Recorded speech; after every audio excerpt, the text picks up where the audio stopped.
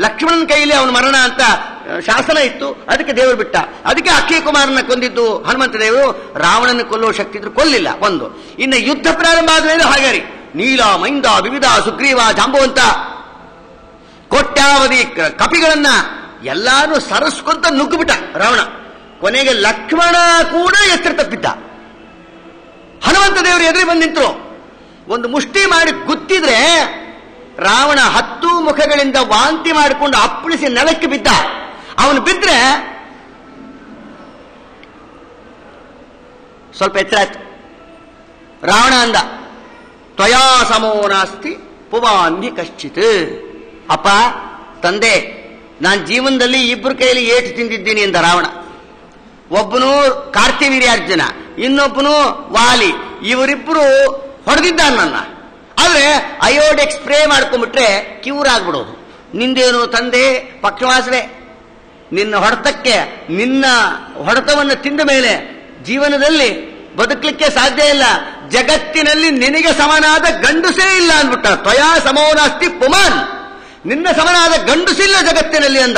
ಹಂಗಂದಾಗ ಹನುಮಂತ ದೇವರು ಬಹಳ ನಾರ್ಮಲ್ ಆಗಿ ಉತ್ತರ ಕೊಟ್ಟರು ಅತ್ಯಲ್ಪ ಮೇತೆ ತ್ಯದುಪಾತ್ಯ ಜೀವಿತ. ಎಲ್ಲೋ ಮೂರ್ಖ ರಾವಣ.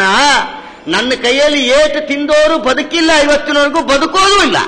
ನಾನು ಏಟು ಹೊಡೆದ ಮೇಲೂ ನೀ ಮಾತಾಡ್ತಾ ಇದ್ದೀಯಾ, ಬದುಕಿದ್ದೀಯ ಅಂದ್ರೆ ನಂದು ಇದು ಏಟಲ್ಲ, ಜಸ್ಟ್ ಶಾಂಪಲ್ ಅಂದ್ರು. ಅಮ್ಮ, ನಿನ್ನ ಶಾಂಪಲ್ಲೇ ಹಿಂಗಿದ್ರಿ, ಇನ್ನು ನಿನ್ನ ಹೊಡೆತದ ಗತಿಯನ್ನು ಸ್ವಾಮಿ ಅಂತ ಓಡು, ಬದುಕಿದ್ರೆ ಸಾಕು ಅಂತ ರಾವಣ. ಹಾಗೆ ಅವಕಾಶ ಇದ್ರೂ ರಾಮದೇವರಿಗೋಸ್ಕರವಾಗಿ, ರಾಮದೇವರ ಸೇವಾ ರೂಪದಲ್ಲಿ ರಾವಣನ ಕೊಲ್ಲುವ ಅವಕಾಶ ಸಾಮರ್ಥ್ಯ ಇದ್ರೂ ಬಿಟ್ಟಿದ್ರಲ್ಲ ಹನುಮಪ್ಪ, ರಾಮದೇವರಿಗೋಸ್ಕರ? ಅದಕ್ಕೋಸ್ಕರನೇ ಅದೇ ರಾಮಕೃಷ್ಣನಾಗಿ ಬಂದಾಗ ಪರಮಾತ್ಮ ಆ ಜರಾಸಂಧನಿಗೆ ಭೀಮಸೇನ ದೇವರಿಗೋಸ್ಕರನೇ ಮುಂದೆ ರಾಜಸೂಯಾಗಾದಿಗಳ ಸಂದರ್ಭದಲ್ಲಿ ಜರಾಸಂಧನನ್ನ ಭೀಮಸೇನ ದೇವರ ಕೈಯಲ್ಲಿ ಕೊಲ್ಲಿಸಬೇಕು ಅನ್ನೋ ಕಾರಣಕ್ಕೆ ಪರಮಾತ್ಮ ಬಿಟ್ಟುಬಿಟ್ಟ. ಇದೊಂದು ಕಾರಣ. ಇನ್ನೊಂದು ಕಾರಣ. ಜರಾಸಂಧನ ಬಿಡೋದ್ರಿಂದ ಕೂತಲ್ಲೇ ಭೂಭಾರ ಹರಣ ಆಗತ್ತೆ. ಸಂಚಾರ ಮಾಡಬೇಕಾದ್ದೇ ಇಲ್ಲ. ಜರಾಸಂಧನ ಒಬ್ಬನು ಬಿಟ್ರೆ ಅವನು ಇಪ್ಪತ್ಮೂರ ಚೋಣಿ ಸೈನ್ಯನ ಕಲೆಕ್ಟ್ ಮಾಡ್ಕೊಂಡ್ ಬರ್ತಾರೆ ಬೇರೆ ಬೇರೆ ದೇಶಗಳಿಂದ ಕಲೆಕ್ಟ್ ಮಾಡ್ಕೊಂಡ್ ಬರ್ತಾನೆ ದುಷ್ಟರನ್ನ. ಅವನು ಒಬ್ಬನ ಬಿಟ್ರೆ ಸಂಜೆ ಮೂಲ ಯಾರ್ಯಾರು ದುಷ್ಟರಿದ್ದಾರೋ ಎಲ್ಲ ಮಾಡ್ತಾನೆ ಅವನ ಸಪೋರ್ಟಿಗೆ ಆಗ ಪರಮಾತ್ಮ ಕೂತಲ್ಲೇ ಎಲ್ಲಾ ದುಷ್ಟರು ಸಾಯ್ತಾ ಇತ್ತು ಕಾಲಕ್ಕೆ.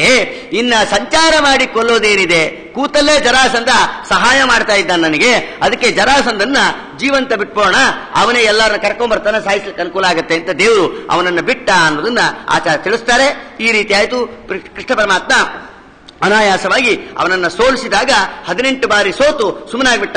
ನಂದು ಯಾಕೋ ಟೈಮ್ ಸರಿ ಇಲ್ಲ ಸುಮ್ಮನಿಡುವುದು ಒಳ್ಳೆಯದು ಅಂತ. ಪರಮಾತ್ಮ ಅಂದ, ನಾನೇನು ಕೃಷ್ಣ ಮಠಕ್ಕೆ ಹೋಗಿ ಉಪನಯನ ಮಾಡ್ಕೊಂಬರಲ್ಲ ಅಥವಾ ನೀವೇ ಮಾಡ್ತೀರಾ ಅಂದ ದೇವರು. ಅಂತೂ ಅವಶ್ಯ ಆಗಲಪ್ಪ ಉಪನಯನ ಮಾಡ್ತೀವಿ ಅಂದ್ರು. ಕೃಷ್ಣ ಪರಮಾತ್ಮನ ಜೊತೆ ವದನ್ ಪ್ರಥಮ ಬ್ರಹ್ಮ ಕಿಲ್ ವಿಷೇಕೂಪಾರಸ್ಥಲಿಲೋ ಮಾತರಿಶ್ವ ಯಾವ ಪರಮಾತ್ಮನಿಗೆ ಉಪನಯನ ಸಂಸ್ಕಾರವನ್ನು ಮಾಡಿದ್ರು? ಉಪನಯನ ಆಯಿತು. ಉಪನಯನವಾದ ಮೇಲೆ ಸಾಂದೀಪಿನಿ ಮುನಿಗಳಲ್ಲಿ ಅರವತ್ನಾಲ್ಕು ದಿವಸಗಳಲ್ಲಿ ಅರವತ್ನಾಲ್ಕು ವಿದ್ಯಾ ಕರತಲ ಮಲಕ ನಮ್ಮ ಸ್ವಾಮಿಗೆ ನಿತ್ಯ ಜಪ್ತಿ ಸ್ವರೂಪನಾದ ಪರಮಾತ್ಮನಿಗೆ ಯಾವ ವಿದ್ಯಾ ಕಲಿಬೇಕ್ರಿ ನಮ್ಮ ಸ್ವಾಮಿ ಗುರು ಕಾಣಿಕೆ ಕೊಡಬೇಕು ಅಂತ ಹೇಳಿ ಸಮುದ್ರಕ್ಕೆ ಬಂದ. ಪಂಚಜನ ರಾಕ್ಷಸನ ಸಂಹಾರ ಮಾಡಿದ. ಪಾಂಚಜನ್ಯ ಸ್ವೀಕಾರ ಮಾಡಿಕೊಂಡು ಬಂದು ಯಮಲೋಕಕ್ಕೆ ಬಂದು ಪಾಂಚಜನ್ಯವನ್ನು ಊದುದ. ಯಮದೇವರಿಗೆ ಎದೆ ಒಡೆದೋಯ್ತು ಓಡಿ ಬಂದು ಕೃಷ್ಣನ ಕಾಲು ಹಿಡ್ಕೊಂಡ್ರು, ಯಮದೇವರು, ಸ್ವಾಮಿ ನೀನ್ಯಾಕೆ ಇಲ್ಲಿಗೆ ಬಂದಿ ಸ್ವಾಮಿ? ಎಂದ್ರು ಯಮದೇವರು ಪರಮಾತ್ಮ ಉಪಚರಿಸಿದ್ರು. ನೋಡೋ, ನಮ್ಮ ಗುರುಗಳು ಸಾಂದೀಪಿನಿ ಮುನಿಗಳ ಮಗ. ಮೃತನಾಗಿ ಯಮಲೋಕಕ್ಕೆ ಬಂದು ಕೂತಿದ್ದಾನೆ, ಅವನನ್ನು ಕೊಟ್ಟು ಕಳಿಸ್ ವಾಪಸ್ಸು ನೀನೇ ಸರ್ವ ನಿಯಾಮಕ ಸ್ವಾಮಿ, ನೀ ಹೇಳ್ದಂಗೆ ನಾವು ಕೇಳೋರು ಅವಶ್ಯ ಆಗಲಿ ಅಂತ ಸಾಂದೀಪಿನಿ ಮುನಿಗಳ ಮಗನನ್ನ ವಾಪಸ್ ಕಳಿಸಿದ್ದಾರೆ. ಕರ್ಕೊಂಬಂದು ಅವರು ಸ್ನಾನಕ್ಕೆ ಅಂತ ಹೋದ ಮಗ ಮೃತನಾಗಿದ್ದ ಸಾಂದೀಪಿನಿ ಮುನಿಗಳಿಗೆ ಒಬ್ಬ ಮಗ ಇದ್ದ. ಪಾಪ ಅವನ ನದಿಯಲ್ಲಿ ಹೋಗ್ಬಿಟ್ಟಿದ್ದ. ಅದಕ್ಕೆ ಯಮಲೋಕದಿಂದ ವಾಪಸ್ ಕರ್ಕೊಂಡ್ಬಂದು ಸಾಂದೀಪಿನಿ ಮುನಿಗಳಿಗೆ ಆ ಮಗನನ್ನ, ಕಳ್ಕೊಂಡ ಮಗನನ್ನ ವಾಪಸ್ ಅನುಗ್ರಹ ಮಾಡಿ ಗುರು ಕಾಣಿಕೆಯನ್ನು ಸಮರ್ಪಣೆ ಮಾಡಿ ಪರಮಾತ್ಮ ಮುಂದೆ ಹೊರಟ ಎಂಬ ವಿಚಾರ ತಿಳಿಸ್ತಾರೆ. ಇದಾದ ಮೇಲೆ ಸಂಚಾರವನ್ನ ಮಾಡ್ತಾ, ಇದೇ ರೀತಿಯಾಗಿ ಅನೇಕ ಮಹಿಮೆಗಳನ್ನು ಭಗವಂತ ಮಾಡ್ತಾ ಹೋದ.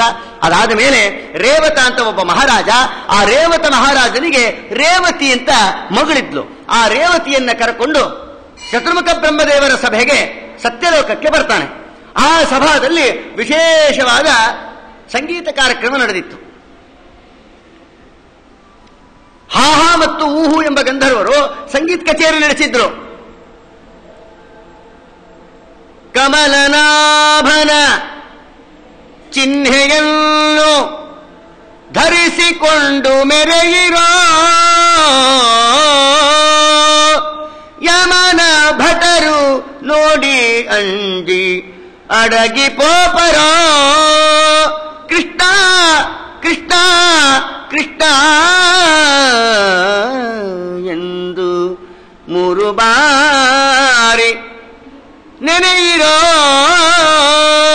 ಆ ಪರಮಾತ್ಮನ ನಾಮಸ್ಮರಣೆ ಮಾಡ್ತಾ ಸಂಗೀತ ಕಚೇರಿ ನಡೀತಾ ಇದೆ ನಡೀತಾ ಇದೆ ನಡೀತಾ ಇದೆ ರೀ. ಕೃತತ್ರೇತ ದ್ವಾಪರ ಕಲಿಯುಗ ಒಂದು ಸರಿ ತಿರುಗಿದ್ರೆ ಒಂದು ಮಹಾಯುಗ ಅಂತ ಕರೀತಾರೆ. ಇಪ್ಪತ್ತೇಳು ಮಹಾಯುಗ ಕಳೆದು ಇಪ್ಪತ್ತೆಂಟನೇ ಮಹಾಯುಗ ನಡೀತಾ ಇತ್ತಂತೆ ಅಷ್ಟೊತ್ತಿಗೆ. ಇವರು ಹೋಗಿ ಕೂತಾಗ ಸಂಗೀತ ಕಚೇರಿ ಸ್ಟಾರ್ಟ್ ಆಗಿದ್ದು, ಆ ಸಂಗೀತ ಕಚೇರಿ ಎಲ್ಲಿ ತನಕ ನಡೀತು ಅಂತಂದ್ರೆ, ಕೃತತ್ರೇತ ದ್ವಾಪರ ಕಲಿಯುಗಗಳು ಒಂದು ಸರಿ ತಿರುಗಿದ್ರೆ ಮಹಾಯುಗ ಒಂದಕ್ಕೆ ಅಂತಾರೆ. ಅಂತವು ಇಪ್ಪತ್ತೇಳು ಮಹಾಯುಗ, ಕಳೆದು ಇಪ್ಪತ್ತೆಂಟನೇ ಮಹಾಯುಗ ಸ್ಟಾರ್ಟ್ ಆಯಿತು, ನಡೀತಾ ಇತ್ತು. ಇಪ್ಪತ್ತೆಂಟನೇ ದ್ವಾಪರದ ಯುಗ ನಡೀತಿತ್ತಂತೆ. ಅಷ್ಟು ದೀರ್ಘ ಸಂಗೀತ. ಅಂತ ಸಂಗೀತ ನಡೆಯುವ ಕಾಲಕ್ಕೆ ಸಂಗೀತ ಮುಗಿತು. ಆಗ ಬ್ರಹ್ಮದೇವರನ್ನು ಕುರಿತು ರೇವತರಾಜ ಮಾತಾಡ್ತಾನೆ. ಮಾತಾಡಿ ಬ್ರಹ್ಮದೇವರಂದ್ರು ಏನು ವಿಷಯ? ಯಾಕೆ ಬಂದಿದ್ದಿ? ಅಂತ ಕೇಳಿದಾಗ, ಆಗ ಬ್ರಹ್ಮದೇವರನ್ನು ಕುರಿತು ರೇವತರಾಜ ಅಂತಾನೆ, ಸ್ವಾಮಿ, ನನ್ನ ಮಗಳಿಗೆ ಕನ್ಯಾಮಣಿ ಒಳ್ಳೆ ಉಚಿತವಾದ, ಯೋಗ್ಯವಾದ ವರವನ್ನ ತಮ್ಮನ್ನ ವಿಚಾರಿಸಿಕೊಂಡು ಹೋಗಿ ನನ್ನ ಮಗಳನ್ನು ಮದುವೆ ಮಾಡಬೇಕು ಅಂತ ಅನ್ಕೊಂಡಿದ್ದೀನಿ. ನೀವು ಯಾವ ವರವನ್ನು ಹೇಳ್ತೀರೋ ಆ ವರಕ್ಕೆ ನನ್ನ ಮಗಳನ್ನು ಕೊಟ್ಟು ಮದುವೆ ಮಾಡ್ತೀನಿ ಅಂದಾಗ, ಆ ಅಣ್ಣನ ಮದುವೆ ಆದ ಮೇಲೆ, ತಮ್ಮನ ಮದುವೆ ಅಲ್ವಾ? ಅದಕ್ಕೆ ಬಲರಾಮ ದೇವರ ಮದುವೆ ಆದ ಮೇಲೆ ಕೃಷ್ಣ ಪರಮಾತ್ಮನ ಮದುವೆ. ಅದರಿಂದ ರುಕ್ಮಿಣಿ ಕಲ್ಯಾಣ ರೇವತಿ ಕಲ್ಯಾಣ ಉಪಲಕ್ಷಣತೆಯ ಸುಧಾಮನ ಚರಿತ್ರದೊಂದಿಗೆ ವೈಭವದಿಂದ ದಶಮಸ್ಕಂದವನ್ನ ಸಮಾಪ್ತಿ ಮಾಡ್ತಾರೆ. ಇದರ ಮಂಗಳ ಮಹೋತ್ಸವವನ್ನ ನಾಳೆ ದಿವಸ ಕೇಳೋಣ ಹರೇ ನಮಃ. ಕೃಷ್ಣಾರ್ಪಣ.